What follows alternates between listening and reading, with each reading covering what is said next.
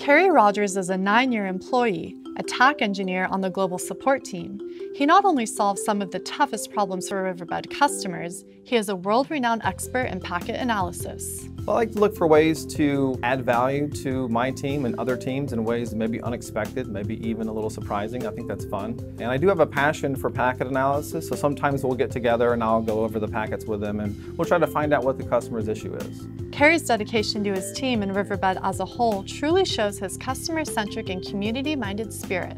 I'm in customer escalation, so I'm dealing with sometimes upset customers, from the biggest customer you know, to the smallest customer, making sure that my team is addressing their issues and they're getting the best possible experience with Riverbed's products and services.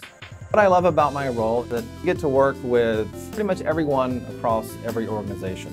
And so it's fun to interact with them, see how they're working, how can we add value to them. At the end of the day, we're all one big team.